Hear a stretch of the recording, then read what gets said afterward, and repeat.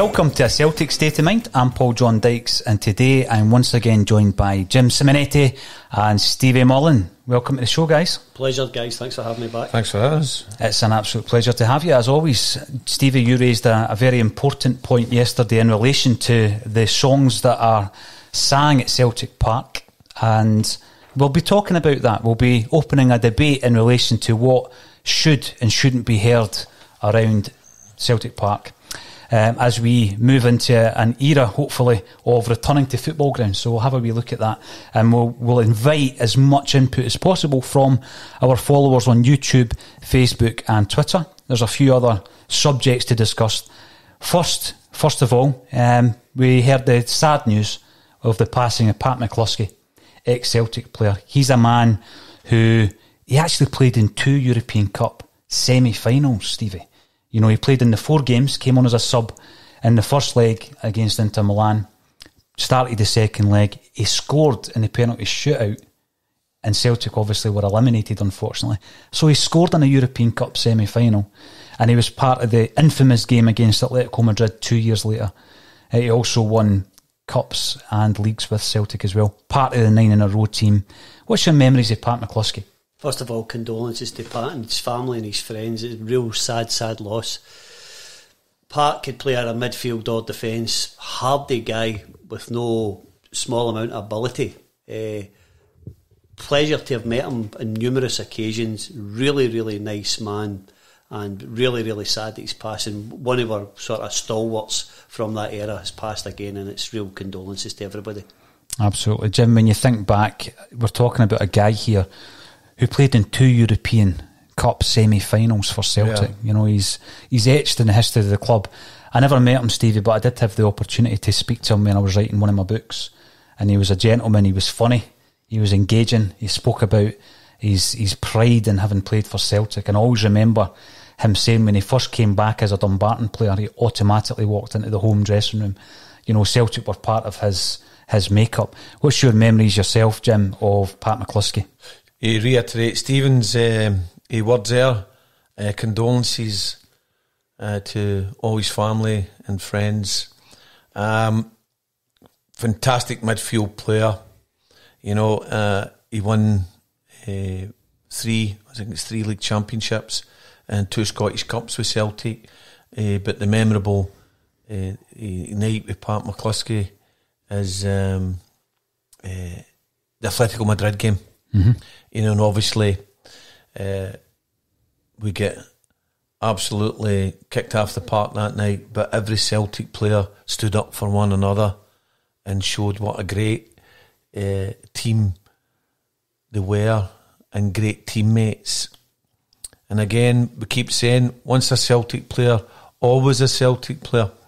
And uh, I just, I used to think he, he, he was cracking in midfield, Stevie, cracking in defence, an overall, an overall fantastic player of our our cold era, and uh, more like Pat McCluskey today would be uh, would be fantastic. So, um, condolences. The other wee thing as well, Jim. You know, most of the guys who would have played against Athletic Madrid come through the junior game. Aye. You know, to get toughened up. Aye. Pat was at Maryhill. Right. You know, from Kilsyth, played for Maryhill, get toughened up. Same as some legendary Celtic players who also, also played for Maryhill. Aye. So it's a great breeding ground if we could maybe get back some of the boys to do that. But again, it's testament to Pat that he took that experience and progressed in his career to mm. have a mm. really good career with Celtic and more prominently Dumbarton. Aye, and it's players, it's players like that that we we should never forget. Uh, even going back to uh, the first nine nine in a row uh, all those players that were part of that and part of history is very important. But players maybe uh, back in the day, Stephen, they went out to the junior teams, uh, Paul, and and it helped them immensely in their mm game. Mm-hmm. And then they came back. Even players like Jinky as well, coming back in, made them better. So maybe that's something that should be, be looked at again to help help players all round to go back into teams like St Roch's and, and various other, other other teams within the, the ranks. I know you're moving away for the so-called juniors now, but it would still be a great experience for, for the guys to be in there. I know we're, we're talking about Pat, But here's a wee question for both of you. See, between the two nine in a rows, Yeah. do you think any of the players from the second nine would get into the good teams of the first nine? Great question. it's, it's a debate. It's a big debate. In Great fact, it's a whole show, that one. Yeah. That's brilliant. Stevie, just keep coming in. You're giving us good themes. You're giving us good themes. Um, I think that's brilliant. Would I even be qualified to answer the question because I've not seen the first? But you do your research. you- You're always loo- looking at things. You've got great stats. You know the video footage is there for most of it. So Yeah. I, I think everybody's entitled to an opinion. I'm You know, I've, I've never. I'm going to go back to your old analogy. I've never sat in a racehorse, but I can tell you it's going to win every race before we start. I, I'm actually going to have a wee think about that, Stephen. And I think there is. I think there is. So I'm going to think about that and I'm going to come back to you. Is that all right? Definitely, but see, it's, just never- it's just because it's Pat's era, and that's the one that we're talking about today. Because Pat, Pat was a very, very good player. Very good player. Paul, what, what do you think then? And maybe put out to the viewers eh, the best uh, team for the first nine in a row and the, and the, the second nine in a row. Obviously, the Lions are in there. Well, You know, a bit difficult. a lot of people. Street kids. Aye, a lot of people, yeah, that that's the thing when you look at. And I asked, I've asked Lisbon Lions a question, Stevie. Would any when I was writing my book and I'm focusing on the Quality Street kids, would any of those players have made it into the the Lisbon team? Now you wouldn't change the Lisbon team because they won. They won the European Cup. You couldn't change it. But on an individual basis, some people did say, well, Danny McGrain, yeah, at right back, Kenny Dalglish was another one that was mentioned, and actually George Connelly was mentioned as well. But then you wouldn't drop any Lisbon Lions because they won everything in their path. But as individuals, maybe one or two of the players were individually better than some of the. And again, I, I'm talking about guys I never seen playing live. So I'm, I'm just going by other people who were there. It's a difficult question. You've got to throw it out. You've got to throw it out to the, the people who are tuning into a Celtic state of mind every day. But once again, what a great theme uh, to go by.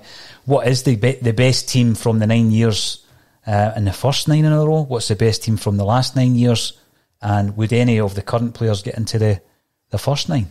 Great question. It's a great question, but and you know after Bayern Munich won in the uh, the European Cup the other night there as well, took a wee note for you today as well. That's uh, they're the ninth team in history to win a treble of League Cup and a a, a, a European Cup or a Champions League. Right. First ever team was Celtic ever to. Ajax, PSV, Man United, Barcelona, Inter Milan, Bayern Munich, Barcelona, and then Bayern Munich again. So we're first in the li- just when you mentioned the Lions there, we lead the way. So I wouldn't take the Lions out of any team. I think it's alarming as well, Jimmy. You know that the other night's final, I think it was the first time since 2009 that actually two champions had contested the final. Aye, amazing. I know. When we're, we're looking at um, Pat McCluskey, we've spoken about that Atletico Madrid game. And obviously, Celtic in the first leg at Celtic Park, the game is 0 0. Jimmy Johnstone got booted up and down the pitch. Jim, there's a famous picture of him sitting on the treatment table, Aye. legs covered in bruises. Death threats when he went over to, to play them over there. And uh, you know the famous story about Bobby Lennox and Jimmy sharing the room. And wee Jinky thinks that he's that there's going to be a sniper. And he, and he starts eating the apple. You heard the story? And Bobby says, You know, how do you know they've no poisoned the apple? No, actually, actually, uh, I say I asked the, the wee man. He says that Atletico Madrid game was was some game for you, was it? No, he says I think they underestimated me that night. yeah, they underestimated me. But, but that was brutality. That that was the Oh. game of football that night. Just absolute brutality. Well, everybody I've spoken to who was involved in the game, I've always asked them the question about what happened in the tunnel. Uh, obviously, was it full time? It would have been full time, Aye. eh? And there was a big rock in the tunnel, and no one will tell us exactly what happened. And Pat was one of the players I spoke to about it. And he says, "Look, listen, Paul, you know what happened in that tunnel will stay with the players who was in the tunnel." But I think Davy Hay was involved. And going by the way that Pat was, I think Pat was involved. A few, I a few Pat punches was- were thrown. I think Pat would have been pretty handy. Aye, I think handy. David would have been pretty handy. That's, but again, they've got to stick up for their teammates. One hundred percent. There's a few subjects. I mean, as Stevie and Jim have already said, condolences from everyone at Celtic State of Mind for the family and friends of Pat McCluskey. Um, people close to him. I think Andy Lynch told me that you know Pat was a great singer and his uh, his dad was a talented singer. So Um, it's people have got fond memories of Pat McCluskey. So um, rest in peace. There's a lot messages coming through. Please keep them coming. There's a few other subjects to, to get through as well, Stevie. Before we start talking about the headline, uh, which you raised yesterday, we're talking about songs which um, were never questioned. I don't think before a certain era, but now they're being outlawed at football grounds and particularly at Celtic Park due to our Irish heritage. And we're going to be speaking about that debate as well and opening it up to the people who tune in to the Celtic State of Mind bulletin. Uh, before we do that, there's loads of transfer talk this morning. We're talking David Turnbull, Shane Duffy, uh, Aaron Hickey still being mentioned, Odsonne Edouards. And you mentioned to me when you came in, Requelm as well has been mentioned. Yep. So, first and foremost, it looks as though there might be a, a, a deal to be done, struck with Motherwell for David Turnbull. What's your thoughts on that? Three million pounds being cited. I think it's hopefully it'll go through today or tonight, and I think there's two players going from Celtic on loan to Motherwell for a season as part of the deal. So you would like to get David Turnbull in. You know, he, he he's ideal. Yeah. You know, he's a good player. As you go, I think we still need cover for left back. Mm-hmm. I don't know if Aaron Hickey will be coming. Uh, still hearing that Barry Douglas is on the radar. I think a centre half's necessity, and I'm sure we'll bring one in. Hopefully, it's Shane Duffy. If it's not, I've got every confidence that Neil and his backroom staff will bring somebody else in. Again, if we're looking at Celtic as a whole, I've got to congratulate Dermot, Peter, and Neil and his backroom staff for the amount of money they're investing in the team for this vital, vital season. Yeah. But we get pelters every year, a lot of it from our own fans, but I think this year they've really pushed the boat out. I'd agree with that, eh, eh, Stephen. And a, a few shows ago as well, we discussed about the spending, and I think we were all in agreement uh, that day that if if they spend wisely and they spend uh, the, the amount of money that they've got to spend to see us uh, through this season, all the fans will be happy. I'm certainly happy at the moment. But if you look, things we've got up to new Jim, Barkas, Elyounoussi, mm-hmm. Ajeti, yeah, you know, three big, big players in, good yeah. players, know, and then we're backing it up Aye. with some real quality. I know, like the younger guys, you're banking on a lot of potential, but they're real, real quality guys. You know that hopefully we'll just be able to come in and push for a place. Aye, and listen, credit where credit's due with with Peter as well and, and the board. They're, they've no they've not let anybody down. They're they're doing it the right way, and there's more to come. There's more to come. See, when you look at David Turnbull, um, I would ask the question: Is he the most promising Scottish youngsters in, youngster in Scottish football at this moment in time? For me, I would either say it's either him or the boy Ferguson at Aberdeen mm-hmm. for, for, that that position in midfield. I know they've slightly played differently, but I think they two have got a real chance in the future. Mm-hmm.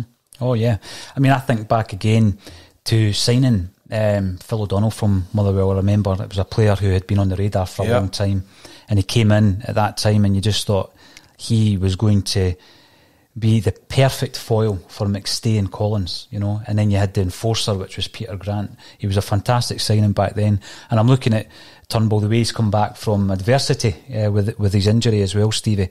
Um, and I think there's a determination about the lad that he's come in. And if it's three million pounds, I think most of that's up front. Uh, with, with another part payment depending on appearances, I think it would be an astute signing at this time. We're, we are well covered in midfield. Would that maybe be on the back of Rogic leaving the building? Is there still question marks around Ntcham, would you say? Well, we've got to the 25th of October, mm-hmm. I think, for the English clubs. So our necessity to do business is more immediate than theirs because we're playing the league games just now on the Champions League. So we need to do our business earlier than these guys. But there'll still be loads of movement, and it might result in some of your players going because you can't just carry everybody no. and the nostalgia. Oh, he was great. He was understand the, the sentiments that people have for some of these players, but it's time to move. Move. Yeah, I think so. Shane Duffy, on the, the point of Shane Duffy, we had uh, Spencer Vignes on the podcast probably a couple of months ago now, Stevie, and he is a Brighton and Hove Albion fan. But he's an author as well, so he knows the history, he knows the club inside out. So he's offered a wee bit of an insight into Shane Duffy, and he reckons that he's more or less been out of favour ever since Graham uh, Potter uh, arrived at the club. So it doesn't look as though he's going to get back in. Uh, he did mention that Shane Duffy likes a pint, not to excess. Uh, but it's one of these things in the modern game when they're looking for the, the model professional and this guy who's completely conditioned, etc. It doesn't really fit in down there. So it looks as though he's on his way. And Spencer uh, mentions that he may as well go where he's wanted and needed, which I think is very important. He will be wanted at Celtic, and he certainly is needed. He's needed. The other wee thing that maybe change it, even Brian Potter's mind down there, is obviously the fact that Lewis Dunk, who's his partner, Shane Duffy's partner at Brighton, they're talking about him moving on as well. You know, so they're going to have to get a full, complete central defence in. And look for two players that work together, Stephen. But when he was on the, the plane yesterday, they, they're training, I think it's St Andrews, Brighton. So I think that's, he was coming to Glasgow, but it wasn't to East End. It wasn't a sign for us, uh, which is unfortunate. What's your thoughts on the continuing um, question around whether or not Eddie's going to remain at the club? We know that we've brought in and we've invested well in Ajeti we were all impressed with the obvious uh, at the weekend there. However, there's still this question of Aston Villa um, circling Celtic Park looking for a deal on Edouard. I think we've said before, um, unless it's forty million pound, we won't we won't be interested in that, will we? I think it would depend on Eddie's attitude to this. The fact that he stayed in Glasgow during the lockdown, I think, is testament to the boy's strength of character. So I don't think he would go to the first suitor and I think if he stays injury free, we won't have him forever. But to go to Aston Villa, I think it would be a negative move, regardless of what wages and salary goes in. I was watching something at the weekend and I heard you guys last week about Kieran Tierney and it's a short career. But see if you're that way inclined, Celtic minded, and you're getting 35 grand a week at Celtic for 15 years, mm. you're not retiring skint. No. You know, no, so you're absolutely right. I, I, I, think there's a, a, balance, you know, and all, all, the things. And I'm going to go back to a, terminology, and please excuse me. See all this birthday card pish that they all come out with to talk about Celtic. It's nonsense. They want to go because they want to go. Wouldn't they have any bad feelings against any of these guys? But if you go, you're part of our history, but you're not part of our present. So Move on, enjoy yourself, but don't come, come keep coming back and try to get credit or due with the Celtic fans. When you're left, you're out the door. You're away. That's it, and we wish him all the best. Yeah, that's what definitely. We've, that's what we've been saying to player uh, uh, regarding uh, old players that's away or current players that want to go. All the best. See, see you maybe later in the future, but now is the time at Celtic Park to have no indecisiveness, Stephen let's look at the players that's coming in. The players that's away, they're gone. And I agree with you on the birthday A card thing. But players that's coming in, that's the big that's the big uh, one for us, I think, Paul. It's who's coming in, who wants to play for us now. Mm. Now. I, I, agree with that. And uh, there's another player who there's question marks over his future, Jim. He's a player that you've kept an eye on due to your involvement in youth football, and it's Karamoko Dembele. So obviously he was involved in uh, the early squads this season. He's disappeared from view. There are question marks around whether or not his head's been turned. Aye. And he might be on his way. What's the latest on that? Uh, I would, uh, if he wants to go, let him go. If he wants to go, if he's, uh, if he's no, uh, he want to play for Celtic, he, he's doing, he's doing the same road. He possibly, he, sorry, I'll rephrase that he will possibly go down the same roads, uh, road as uh, as Feruz. Feruz, uh, uh, seven, 17 clubs, I'm sure it is today. Tommy put everything into him. Tommy Burns done everything he could for that lad. Everything. And he went away. He went away behind the Celtic's back down, down south. Mm. You know, ended up at Chelsea. Behind the back. You don't do that to people. You don't. You you're up front. If you're a professional, you're up front and you put your thoughts across. So young Dembele uh, uh, has got to get himself uh, focused on his football. and not just be outside the sources that he may be involved with and talking to, and people turning his head. If he wants to leave, let him go. On you go, sell him.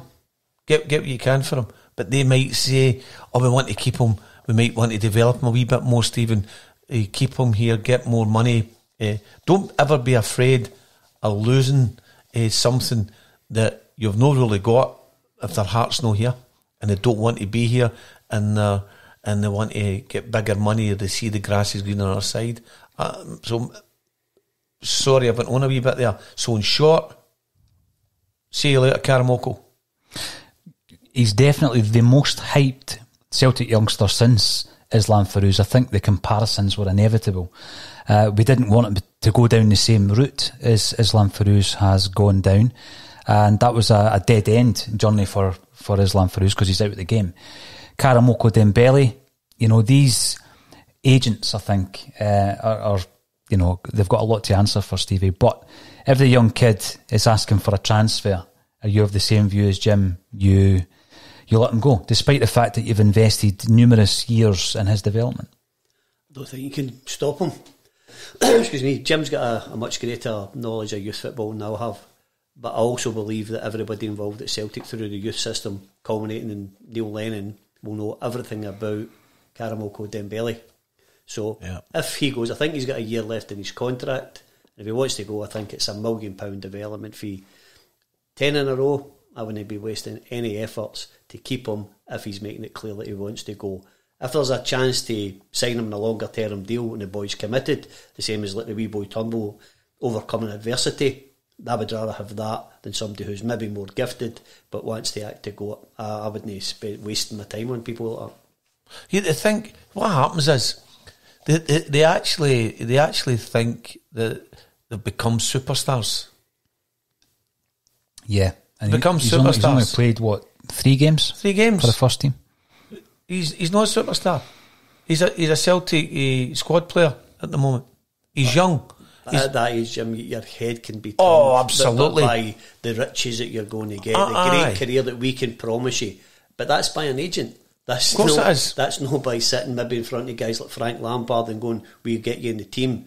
This is just an agent saying, "I can get you anything." That doesn't enhance your career. It only gets you money, and that only lasts a certain amount of time till you go down the same path, and you can't get a club. Mm-hmm. You're right, Stephen. And know what they forget the agent's not going to get you on that park. The only person that's going to get you on that park and win honours and win the trophies in the football game is you as an individual, you as a player. Your agent can tell you and promise you this and promise you that. Oh, we'll get you 20 grand a week, we'll get you 50. But the, but what they, what you going to do as a footballer and your ambition, as for your ambition to win things in the game, they're not going to get you that. That's up to you as yourself. But you see that you're saying about the agents? You're hundred percent. They turn their heads. They turn their heads, take their focus away from what they what they should really be focusing on, and that's their football and their sport. The sport that they're in, they've got to concentrate on that. So Dembele, Dembele, Stephen, I'm glad you said that.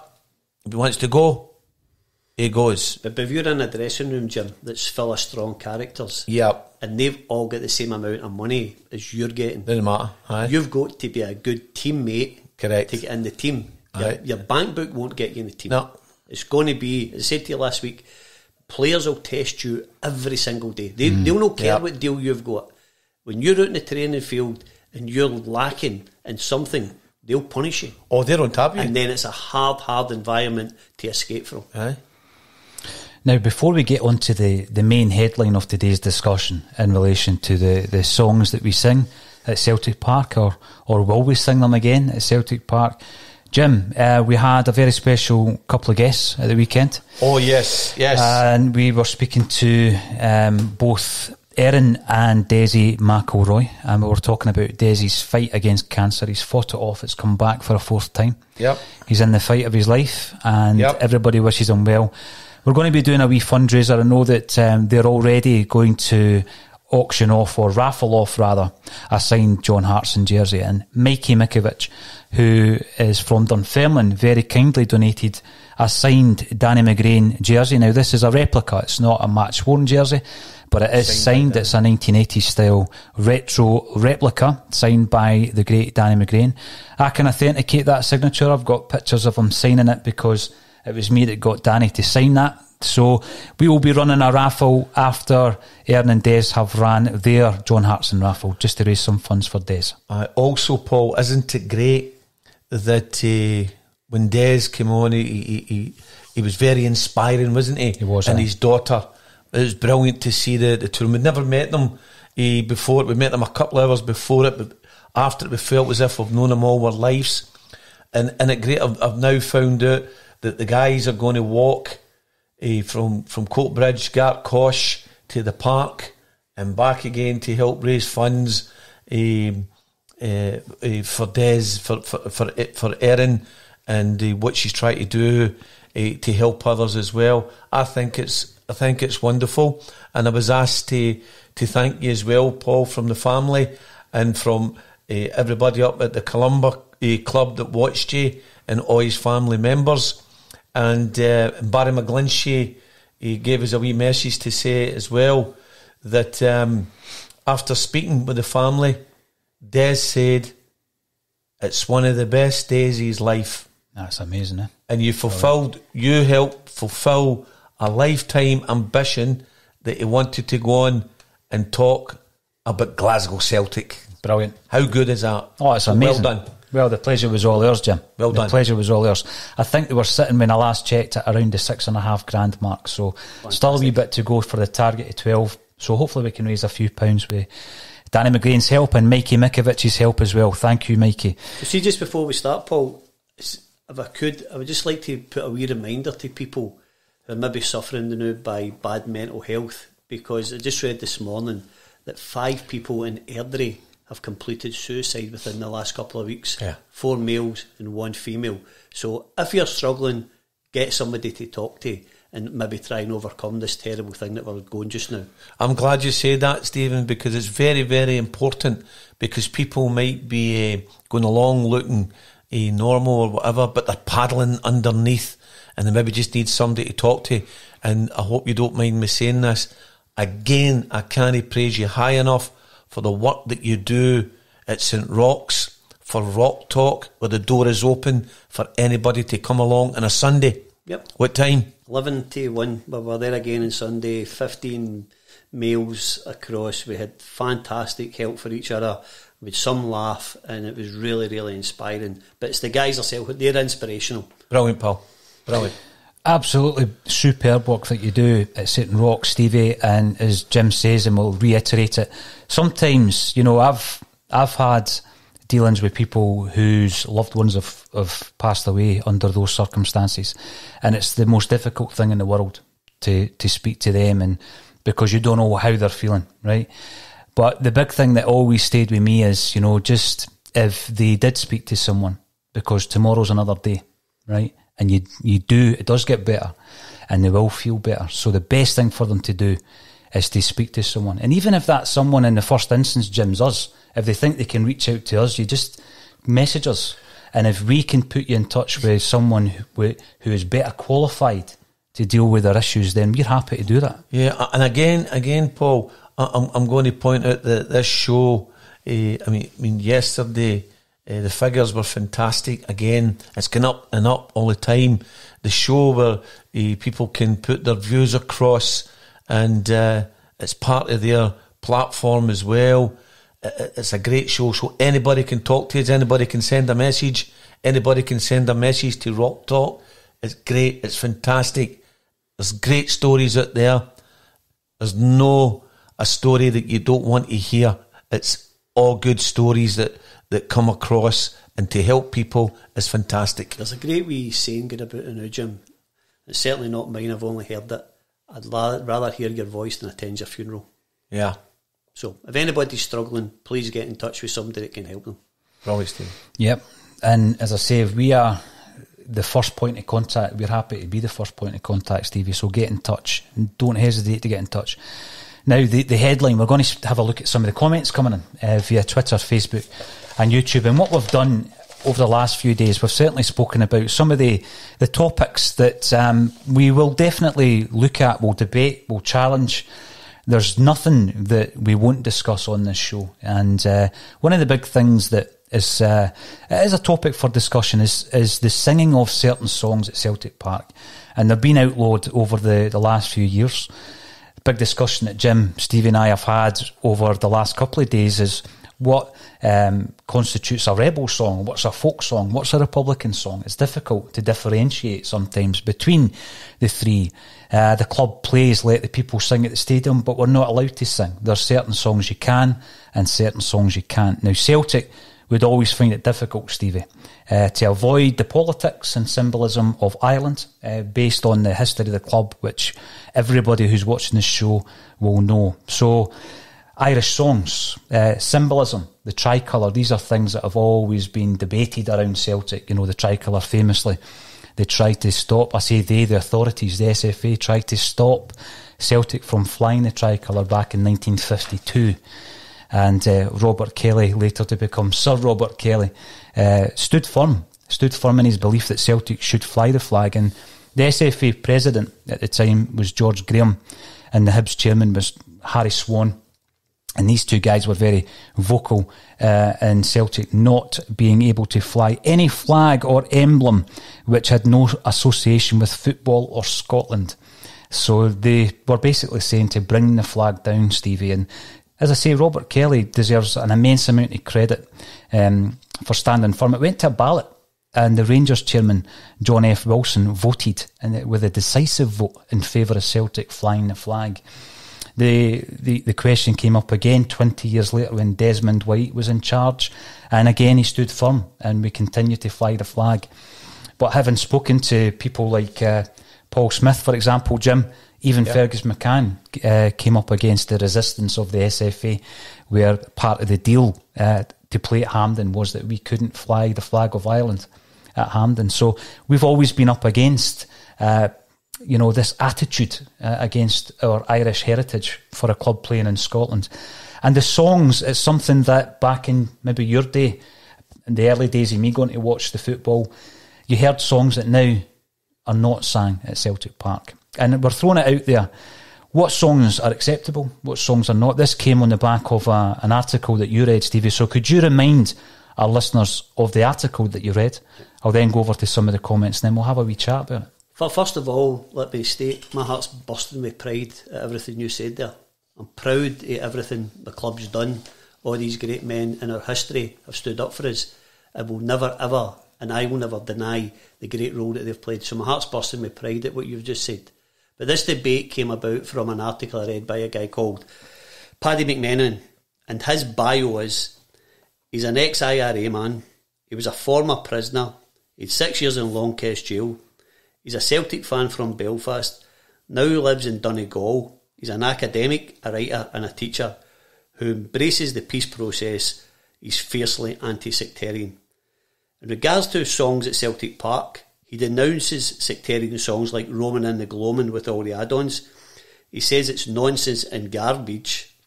His view is it's unfortunate the people of Glasgow and Belfast have sectarianism in their DNA.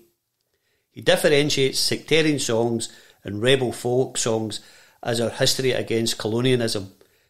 We're not singing songs about killing people, we're singing songs about resistance to British rule. He loves hearing songs like Grace and Fields of Athenry sung at Celtic Park. So that's Paddy's view, who, again, when I spoke to somebody when I left here yesterday, he went, Paddy's view isn't any more important than any other Celtic fan. And again, that's what makes Celtic great. Everybody has an opinion. So I thought that was a great topic to discuss and to see what the viewers, their thoughts on it was.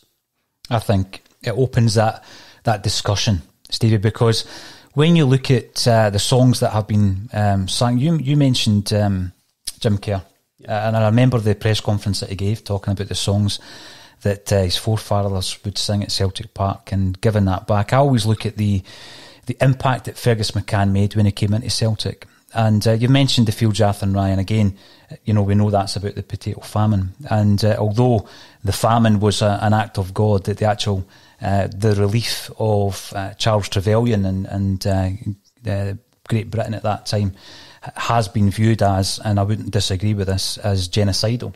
And it's that oppression which obviously forced, they reckon, two million people overseas, and many of them ended up in Glasgow. And uh, 40 years later, they were still without jobs and they were still, you know, in poverty.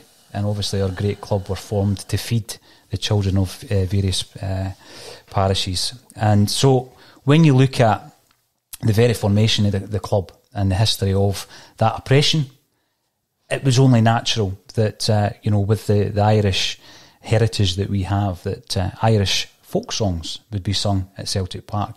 But the club has come on leaps and bounds to eradicate any form of bigotry. I think, and please correct me if I'm wrong, uh, the first public airing of those those anti bigotry uh, messages was from Fergus when he came out with Bhoys Against Bigotry. You'll remember it, Bhoys Against mm Bigotry. And it was a forerunner uh, for everything that's been done since then. But he came up against, um, people will, will, remember Gerry McNee saying that the fields of Athenry even should be banned from Celtic Park. And Fergus stood up to that. And in actual fact, he says, you know, I'm going to print the lyrics of that song in the Celtic View, and the Celtic fans will continue to sing it. But there are other songs, and I take the point that um, the person who wrote that article makes there. Anything that glorifies the killing of anyone else, I think, needs to be eradicated. But we need to know our history. And we keep singing about knowing our history. So there are certain songs and certain figures that I don't think should be offensive in any walk of life, and certainly not at Celtic Park. There was a massive thing for me looking at the offensive behaviour at the Football Act, which everybody knows came into play in 2012. It was revoked in 2018. And there was a massive political reason behind it, in my view. And one of the, the reasons behind that uh, being in place was to justify police presence at the football. Because the police were facing a situation of one of the big earners, um, one of the cash cows for the police was Glasgow Rangers. Because they had a game at Ibrox every fortnight, sometimes every week, depending on cup games, and they made a lot of money from policing those games. And we were actually viewing for the first time in over a century those games not existing. So I think the the Lennon McCoist spat on the sideline was a smokescreen. We'd seen so much worse over the years between Celtic and Rangers, Stevie. I mentioned the 1980 Scottish Cup final, for example, which resulted in booze being banned from stadiums 40 years ago, still banned to this day. Again, that's another debate for another day. Uh, but it had nothing to do with McCoist and Lennon falling out in the sidelines. This was a political act to ensure that they could justify their attendance at most football games, never mind category A games. And how do you justify it? Well, let's introduce some legislation which allows you to lock people up. And that's what happened. Interestingly enough, it's been revoked in 2018 because they're guaranteed to get the Ibrox games back. So the purse is uh, booming again. So that's my belief. I would love for someone to come in and prove me wrong. Um, so that that opens a debate. Back then, did people know what they could and couldn't sing? This is a massive thing. This is one for people who have represented those who have been arrested at the football game for singing a certain song. Did they even know that that certain song could or couldn't be sang? How was that? How were people educated? It was never written down a banned song list, was it? As no, far as I'm aware. No. There were some songs that were obviously banned that the, the people were told they couldn't sing, mm-hmm. usually after they had been arrested. But you, you actually educated me before we come on here, telling me all those things about the Offensive Behaviour Act, you know, in 2012 to 2018. It was absolutely wonderful to hear. Personally speaking, I think there's got to be sort of some parameters about what's sung at the park. Again, I know an age thing will come in, I know alcohol come in, but an example that I would use, and again, this is only my opinion, it's not a view at ACSOM, this is a view that I have. One of the last times we were at Hampden, and I was in the main stand, and I looked towards the Celtic end, or the traditional Celtic end, and the fans were singing a rendition of Grace that made me tingle. It was, you're ready for crying. And I thought, wow, this is magnificent.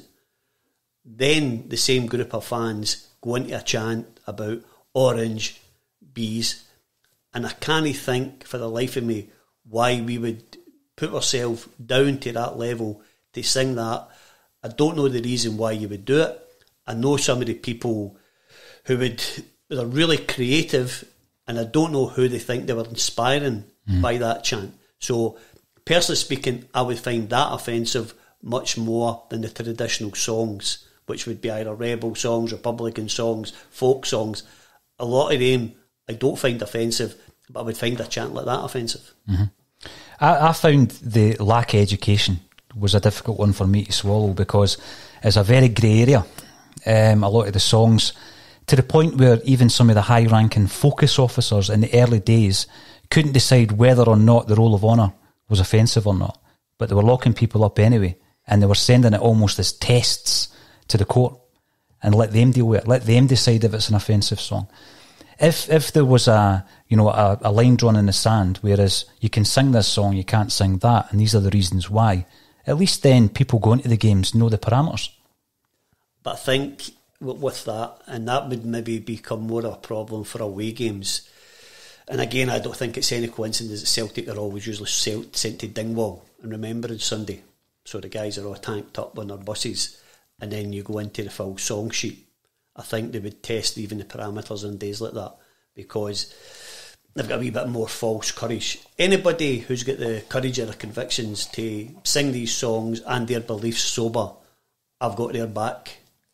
But I'm not going to do it when somebody's under the influence of alcohol and then they would deny it was them that sang the songs on the Monday morning. Mm-hmm. Yeah, but because I think that's a totally different script, you know, to, to base your beliefs on. Jim, I'm going to come to you in a wee second. Let's have a wee look at some of our comments coming through thick and fast on Twitter, Facebook, and YouTube. It's great to engage with the fan base because there's only three guys in here with three different states of mind and three different viewpoints. So, first and foremost, let's have a, a wee comment from Brian Byrne, who's commenting via YouTube. He says, It's a lot more common at away grounds than paradise, just like you say there, Stevie. But don't see anything wrong with the song sung unless they were tasteless or bigoted, always will be a vocal Irish Republican element within the fan base. And I think, you know, we've already accepted that there will be because of the heritage of the club and the traditions of the club. And when you look at the fan base, you know, you many of the fans could trace their their, their family tree back to Ireland. I'm not saying everybody, we're a club open to all, Stevie, but many of them can. So when you're growing up, and I said this yesterday to Kevin, because both of us travel through in supporters' buses being outside of Glasgow. And you hear the songs, and then you hear them at New Year when your family all gets together, and they're all from Irish stock. Mings are the Maguires from uh, High Valleyfield that go back to Donegal, and I think that's just, you know, that's a, a kind of story that most people can relate to. And then when you get a wee bit older, you start to find out more about them, and then you can make a, an actual decision based on facts as to whether or not you agree with singing them or not and then you're told by law that you can't sing them. So it's a it's an open debate. Please keep the comments coming in, and uh, we also have Gary Doonan. Always welcome on the show, Gary, commenting on Facebook. This is a wee mention about Pat McCluskey, who we spoke about earlier. There's a quote here: "The bigger they are, harder you hit them." And that was that was true about Pat McCluskey. Rest in peace, Pat. A real decent player. Maybe never got the real plaudits. Saw him score penalties in the 75 Cup final the 74 Drybrough Cup final, and two penalties in the famous 3 3 game against Benfica. So he must have had nerves of steel to stand up and take the penalties, Stevie. I mean, I never seen Pat McCluskey. I've heard plenty about him. Quality player. Quality. Quality player. Jim, what's your thoughts on the debate in relation to the songs that we sing as Celtic fans? Just listening. And uh, how do you learn your history? what would what we even Woody Guthrie when he wrote that song, Paul? Uh, you know, um, this land is our land. You learn from songs. Mm-hmm. Growing up, I come from uh, Irish Italian background. Uh, my mother's uh, my mother's side, uh, from Sligo, and when I was younger, yes, they would all sing uh, songs, but they sung songs when we were younger with passion. They sung it with heartfelt knowledge about their grandparents and their grandparents, great grandparents, and the hardships that were bestowed upon them back in the days before they came here to Scotland. Those songs were handed down in a line for everybody to sing and for everybody to remember. A lot of people don't know uh, a lot of the historical Irish songs. They don't understand the meaning of these songs. They're starting to be educated, maybe, now about the songs and what it means. So if you look at if you look at a, even let's go to the one that you mentioned, Roll of Honour.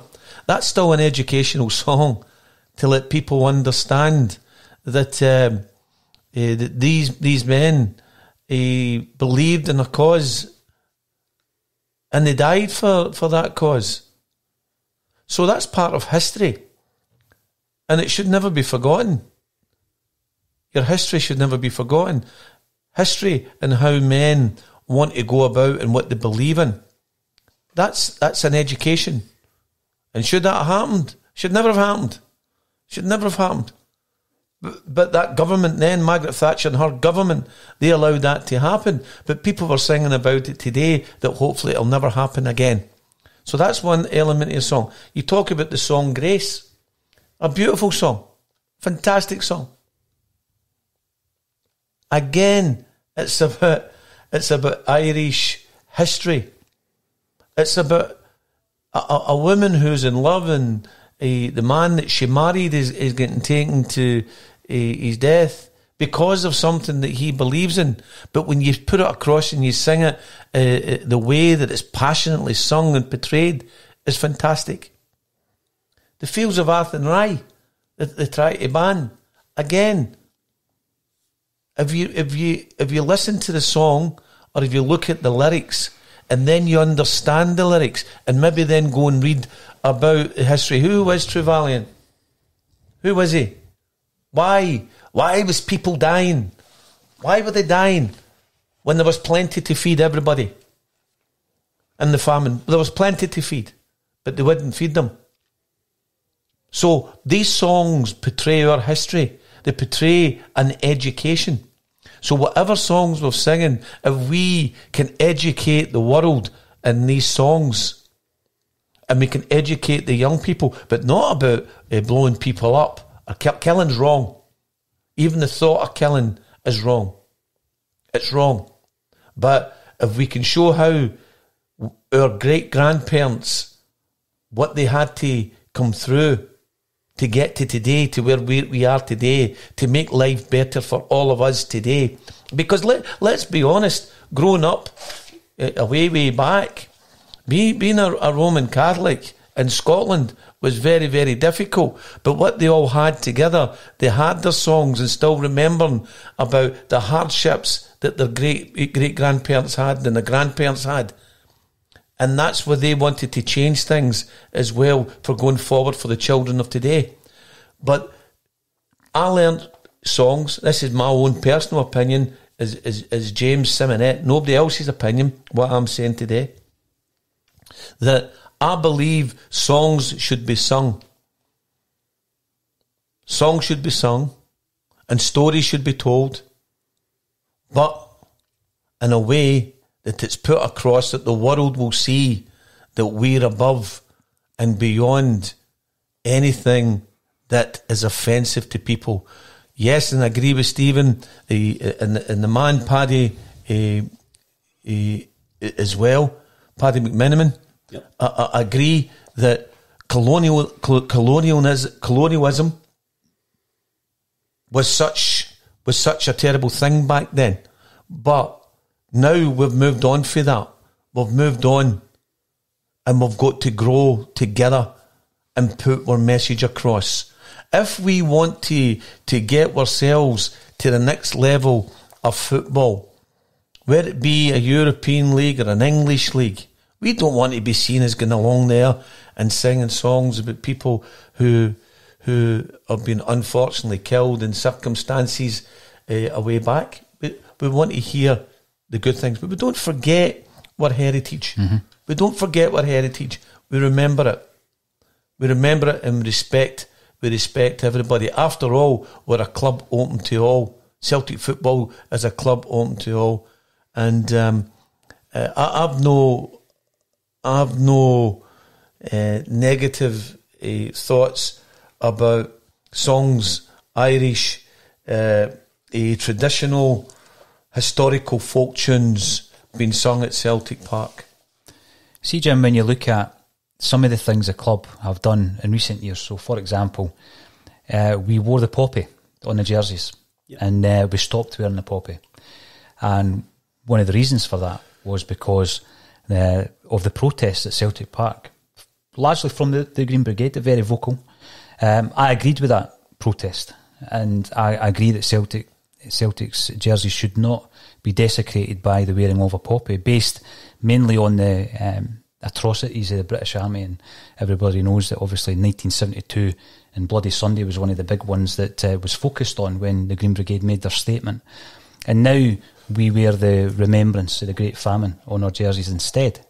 So I think the club does listen to the, the supporters, Stevie, um, and they do act. Uh, and I think that for me, the big thing for me was education. So to, to use an example that of a song, Jim, that you won't hear at Celtic Park, a song by John Lennon, The Luck of the Irish. Yeah. And it's a song that, that I'm going to say Jim educated me with this. That's a song of oppression. He name checks IRA in it. It's not a song about killing. And for me, it's not offensive, but it's a it's definitely a rebel song. But it's an important song. Mm-hmm. It's an important song, uh, uh, Paul. These are important. John Lennon wrote that song because it was important to write. It was important to tell the people the story of, of what was going on. Mm-hmm. But but John Lennon also wrote a Sunday Bloody Sunday. That's which is another song. No no the one that Bono wrote. And he tells a story. And people throughout the world he uh, have written in songs to tell the world about what the British government done uh, to uh, to to Irish people, uh, only Irish to to Scottish and mm-hmm. whatever. So you go back to uh, all the way back, uh, all the colonialism. If even you go back to the days when the British Empire uh, had America as well, so George Washington and whatever they thought they wanted to become independent People want to become independent and want to become their own their own their own people. But these great songwriters, when these write when they write, they write from the heart and they want to tell the story. They want to tell the story to the people. But let's let's do it the right way. Mm-hmm. We'll have a look at some of the comments coming in. Red Scotland is commenting via YouTube. Thank you for getting involved again. Folk music is the history of the people who sing it, and these songs must be remembered and shared forevermore whether it's the Corries, the Wolfe Tones, Hamish Imlach, or Robert Burns, it's our history. Now, that actually brings to mind um, the Wolfe Tones at Celtic Park in 1988, getting into the stadium and recording a video for the Celtic Symphony. Now, I'd love to know the full story about that because I've seen a picture of the Wolfe Tones with Tom Grant, who was a stadium manager at the time. Tom's been on the show, might get back in touch with him. I wouldn't have thought at the time, Stevie, that Celtic would have agreed to what the Wolfe Tones did that day. They've obviously let them in the park. No, again, I don't think Celtic can be associated with, with that comment that the Wolfe Tones make. But your own introduction, or people of our generation, was the album that had the tricolour on the back by the Freedom Fighters, which was produced in 1967. Yeah. The guy with a bonnet in front of you. Mm-hmm. You know, and the 10 songs that were on that album which we grew up with with our parents, was Kevin Barry, The Merry Ploughboy, The Boys of Michael, The Wearing of the Green, Peter Crowley, Black and Tan Gun, My Only Son Was Shot in Dublin, Bull of Vogue, Tipperary Far Away, and Roddy McCorley. So you, you've grown up in that. As things grow and become, see, that's predominantly before the start of the civil rights movement and then culminating in the Troubles. So You've got a great history of that. Do the viewers think that we should sing all the songs at Celtic Park, or the viewers think there's a cut off point? Mm. That's the question. Can, can I go back to one as well? Well, the comments are coming in for the viewers, thick and fast there, actually, Paul. And I just seen the other day that your comments are up by over 800 per day. That, that is amazing figures. Let's go back to 1957. Anthony James Donegan, otherwise known as Lonnie Donegan, number one record. America, number one record in the UK. He records Kevin Barry. And they go, oh, I'm not bringing that out. And he say, and he records the Dying Rebel. That's that's put in the archives. But there's a way back. There's a man originally from from Brigton and Glasgow. His family's from Brigton, Glasgow. So he sings about his Irish history. But it, these songs were not allowed to be played, Stephen. And you're right. We grew up with all these songs. They were part of our family. Part of our family that they they all sung as well. And you know, I'm not arguing against the history, Jim, no. or, or, the beauty or the magnificence of these songs, the songwriters or the singers. What I'm asking, and again, I can ask you both of you, or I can ask your viewers, do you think there's a cut-off point? When I was when I left here yesterday, I spoke to one of my closest ah. friends who's a bit older than me, yeah. and I says, "What do you think?" And his answer, plain as anything, "F them, sing what we want, and I'm proud to be a Roman Catholic."